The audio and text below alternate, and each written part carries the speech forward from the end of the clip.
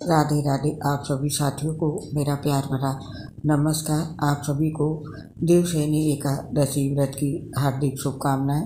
आज इस पोस्ट में जानेंगे देवसैनी एकादशी के ग्यारह शुभ कार्य जो हमें ज़रूर करने चाहिए और ग्यारह ऐसे कार्य जो इस दिन कतई नहीं करने चाहिए। साथ ही जानेंगे ग्यारह अंक का विशेष महत्व इस बार आषाढ़ मास के शुक्ल पक्ष की हरिसैनी एकादशी सत्रह जुलाई 2024 को मनाई जाएगी। इसे देवसैनी एकादशी के नाम से भी जाना जाता है। इस दिन भगवान श्री हरि विष्णु शयन अवस्था में चले जाते हैं। दूसरे शब्दों में, इस दिन से देव प्रबोधनी एकादशी तक भगवान विष्णु पतार लोक में निवास करते हैं। इस दिन हम कुछ सामान्य से शुभ कार्य करके भगवान विष्णु और माता लक्ष्मी की कृपा पा सकते हैं। साथ ही कुछ ऐसे कार्य हैं जो हमें बिल्कुल नहीं करने चाहिए। उनको करने से भगवान विष्णु के साथ साथ माता लक्ष्मी भी नाराज़ होती हैं। तो आइए पहले जानते हैं ग्यारह अंक क्यों खास है, इसका क्या महत्व है? धार्मिक शास्त्रों की माने तो ग्यारह का अंक बहुत ही खास माना गया है। हिंदू धर्म में भी ग्यारह नंबर को शुभ माना जाता है। हिंदू धर्म के अनुयायी ग्यारह लड्डू, ग्यारह नारियल और ग्यारह रुपए मंदिर में चढ़ाना बहुत ही शुभ मानते हैं। भारत में भगवान शिव के ग्यारह रुद्र अवतार की भी मान्यता है। ग्यारह रुद्र हनुमान जी भी कहलाते हैं। अंक ज्योतिष के अनुसार ग्यारह नंबर को किसी भी कार्य के लिए पवित्रता, नई उम्मीद और नई शुरुआत का प्रतीक माना है। इस नंबर को शांति और ऊर्जा का बोधक भी माना जाता है। ग्यारह अंक धैर्य, ईमानदारी, संवेदनशीलता और आध्यात्मिक समझ का प्रतीक भी माना गया है। ग्यारह अंक हर लिहाज से महत्वपूर्ण और शुभ होता है। आइए जानते हैं हरि सैनी देव सैनी एकादशी के दिन कौन से ग्यारह शुभ कार्य हैं जो हमें करने चाहिए? पहला कार्य है, इस दिन प्रातःकाल स्नान के पश्चात भगवान विष्णु की सोने चांदी, पीतल या तांबे की मूर्ति को पीताम्बर से सजाकर सफ़ेद वस्त्र से सजे, तकिए तथा बिस्तर वाले एक छोटे से पलंग पर शयन कराएँ। इसके साथ ही कुछ खास मनोकामनाओं की पूर्ति के लिए इन महीनों में कुछ चीज़ों के त्याग का व्रत लें और दूसरा, देवसेनी एकादशी पर दक्षिणावर्ती संख में गंगा जल भरकर उससे भगवान विष्णु का अभिषेक करें। और तीसरा शुभ कार्य है, देवसैनी एकादशी पर भगवान विष्णु को खीर और पीले फल या पीले रंग की मिठाई का भोग लगाएँ। और चौथा शुभ कार्य है, अगर आप धन लाभ चाहते हैं तो इस दिन भगवान विष्णु जी के साथ माता लक्ष्मी की भी पूजा करें। ये था चौथा शुभ कार्य और पांचवा शुभ कार्य है।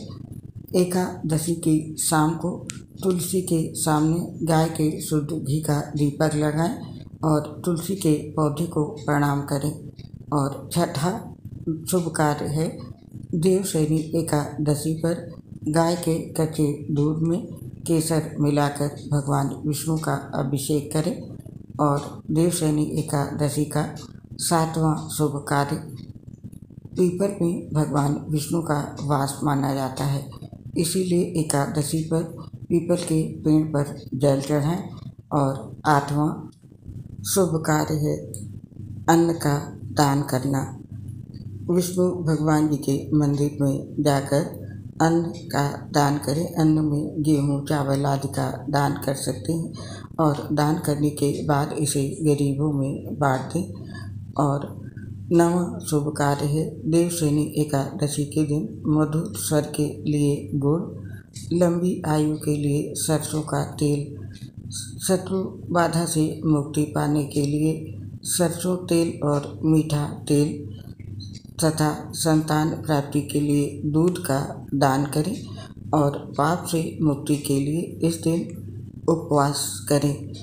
और देवशैनी एकादशी के दिन का दसवां शुभ कार्य है। इस दिन सुबह सुबह घर की साफ़ सफ़ाई के पश्चात मुख्य द्वार पर हल्दी का जल या गंगा, जल का छिड़काव करें और ओम नमो नारायणाय या ओम नमो भगवते वासुदेवाय नमः का 108 बार या एक तुलसी की माला जाप करें।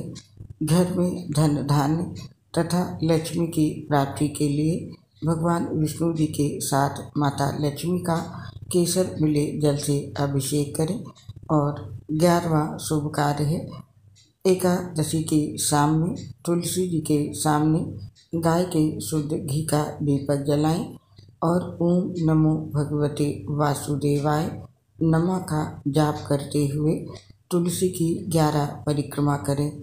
इससे घर के सभी संकट और आने वाली परेशानियाँ टल जाती हैं। तो ये वो ग्यारह शुभ कार्य है जो एकादशी के दिन हमें करने चाहिए। आप जानते हैं एकादशी के दिन, वो कौन से ग्यारह काम हैं जो हमें कतई नहीं करने हैं?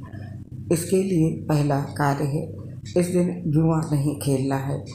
जुआ खेलना एक सामाजिक बुराई है। जो व्यक्ति जुआ खेलता है, उसका परिवार व कुटुंब भी नष्ट हो जाता है। जिस स्थान पर जुआ खेला जाता है, वहाँ अधर्म का राज होता है। ऐसे स्थान पर अनेक बुराइयाँ उत्पन्न होती हैं। इसीलिए सिर्फ़ आज ही नहीं, बल्कि कभी भी जुआ नहीं खेलना चाहिए। जुआ खेलना वास्तव में बहुत ही गलत कार्य है। किसी को भी कभी भी जुआ नहीं खेलना चाहिए। और जो दूसरा कार्य है, वो है रात में सोना नहीं है। एकादशी की रात को सोना नहीं चाहिए।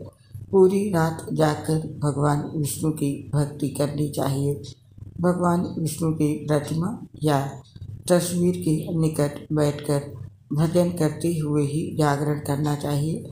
इससे भगवान विष्णु की कृपा प्राप्त होती है और तीसरा काम जो हमें नहीं करना है, वो है इस दिन पान नहीं खाना है। एकादशी के दिन पान खाना भी वर्जित माना गया है। पान खाने से मन में रजोगुण की प्रवृत्ति बढ़ती है। इसीलिए एकादशी के दिन पान न खाकर व्यक्ति को सात्विक आचार, विचार रखकर प्रभु भक्ति में मन लगाना चाहिए और देव शैली एकादशी के दिन जो चौथा कार्य नहीं करना है, वो है दातुन करना। एकादशी पर दातुन यानी कि मंजन करने की भी मनाही है। इस निषेध में शास्त्र सम्मत कारण नहीं मिलते हैं, लेकिन मंजन और दातुन करनी नहीं है। और पांचवा कार्य जो हमें नहीं करना है, वो है पर निंदा यानी कि दूसरों की बुराई नहीं करनी है। पर निंदा यानी दूसरों की बुराई करना। ऐसा करने से मन में दूसरों के प्रति कटु भाव आ सकते हैं। इसीलिए एकादशी के दिन दूसरों की बुराई न करते हुए भगवान विष्णु का ही ध्यान करना चाहिए। और छठा कार्य जो इस दिन नहीं करना है, वो है चुगली करना, इस दिन किसी की भी चुगली नहीं करनी चाहिए। चुगली करने से मान सम्मान में कमी आ सकती है। कई बार अपमान का सामना भी करना पड़ सकता है, इसीलिए सिर्फ़ एकादशी ही नहीं, अन्य दिनों में भी किसी की चुगली नहीं करना चाहिए। और सातवां कार्य हमें बिल्कुल नहीं करना है, वो है चोरी करना। चोरी करना पाप कर माना गया है। चोरी करने वाला व्यक्ति परिवार व समाज में घृणा की नज़रों से देखा जाता है। इसीलिए सिर्फ़ एकादशी ही नहीं, अन्य दिनों में भी चोरी जैसा पाप कर नहीं करना चाहिए और आठवां कार्य नहीं करना है। वो है, किसी भी प्रकार की हिंसा नहीं करनी है। एकादशी के दिन हिंसा करने की मनाही है। हिंसा केवल शरीर से ही नहीं, मन से भी होती है। इससे मन में विकार आता है। इसीलिए शरीर या मन किसी भी प्रकार की हिंसा इस दिन नहीं करना चाहिए। और इसके साथ ही जो नवा कार्य हमें नहीं करना है, वो है स्त्री का संग। एकादशी पर स्त्री संग करना भी वर्जित है, क्योंकि इससे भी मन में विकार उत्पन्न होता है और ध्यान भगवान की भक्ति में नहीं लगता है। अतः एकादशी पर स्त्री संग नहीं करना चाहिए और जो दसवां कार्य नहीं करना है, वो है हमें क्रोध नहीं करना है। एकादशी पर क्रोध भी नहीं करना चाहिए। इससे मानसिक हिंसा होती है। अगर किसी से कोई गलती हो भी जाए तो उसे माफ़ कर देना चाहिए और मन शांत रखना चाहिए। और ग्यारहवा कार्य हमें नहीं करना है, वो है हमें झूठ नहीं बोलना है। झूठ बोलना व्यक्तिगत बुराई है। जो लोग झूठ बोलते हैं, उन्हें समाज व परिवार में उचित मान, सम्मान नहीं मिलता है। इसीलिए सिर्फ़ एकादशी पर ही नहीं, अन्य दिनों में भी झूठ नहीं बोलना चाहिए। तो ये वो ग्यारह कार्य हैं, जो एकादशी के दिन हमें कतई नहीं करने चाहिए।